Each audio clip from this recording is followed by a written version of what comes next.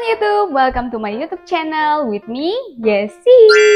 Sesuai dengan judul video kali ini, kita akan membuat cemilan keluarga, tahu bulat goreng.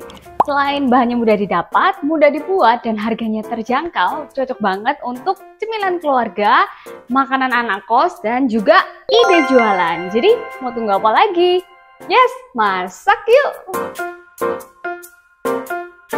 Pertama-tama kita siapkan bahan-bahannya dulu ya teman-teman. Ada tiga kotak tahu biasa, lalu ada ayam cincang yang sudah matang. Ini optional ya teman-teman, kalian bisa tambahkan, bisa juga enggak, jadi tergantung selera.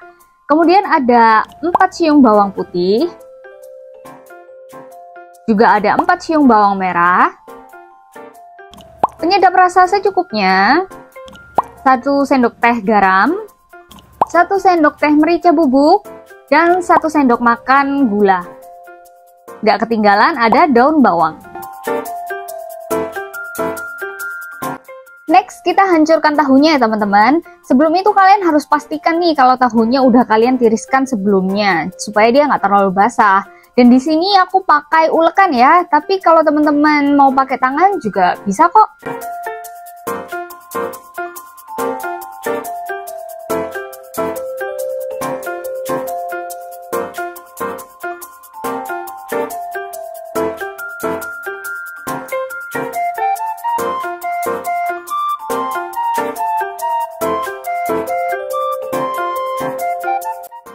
Kira-kira udah cukup hancur kayak gini teman-teman, kalian pindahin ke wadah yang lain dan kita akan siap-siap ke step berikutnya.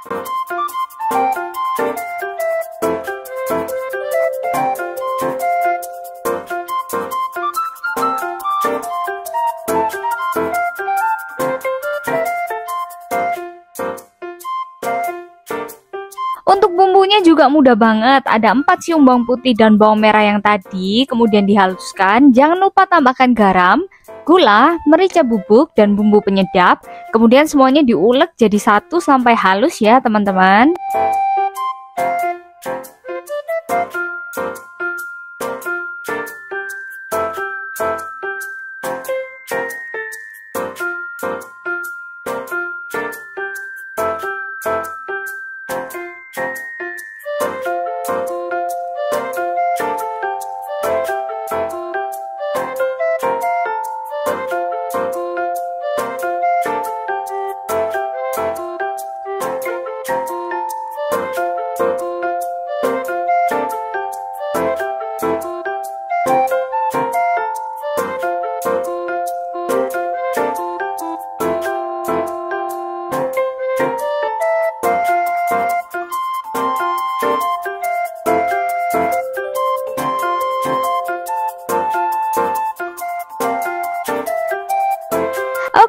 Untuk terakhir daun bawang dipotong kecil-kecil lalu dicampurkan semua ya teman-teman ke tahu dan bumbu yang tadi kemudian diaduk sampai merata.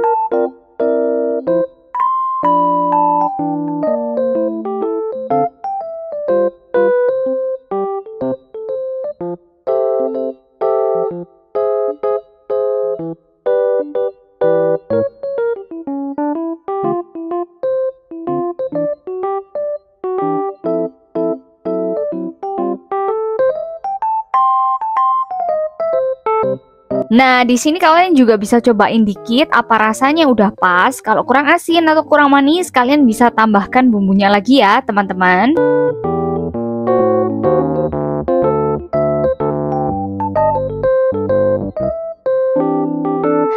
ini adalah bagian yang paling aku suka banget nih. Tahu yang tadi udah dihancurkan dan dicampur bumbu, dibentuk bulat-bulat ya teman-teman. Nggak perlu keras-keras, juga jangan terlalu ditekan. Yang penting bisa bentuk rapi dan bulat. Untuk ukurannya sendiri bebas, kalian bisa bikin lebih besar atau lebih kecil sesuai dengan selera kalian.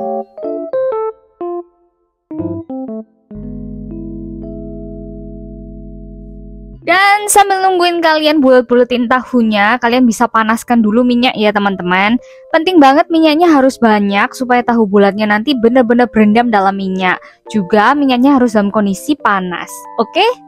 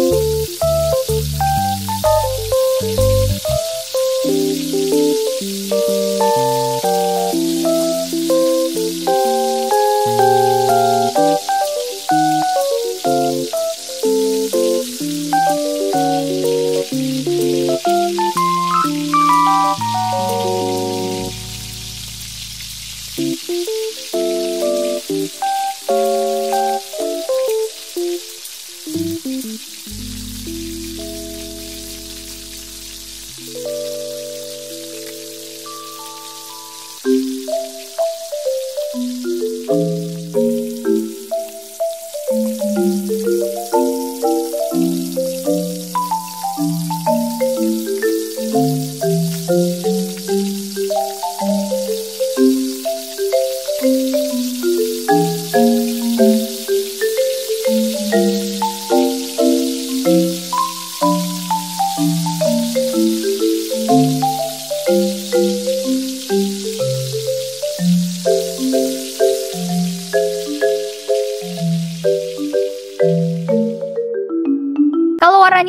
golden brown, cantik kayak gini, kalian bisa angkat dan tiriskan dulu ya teman-teman.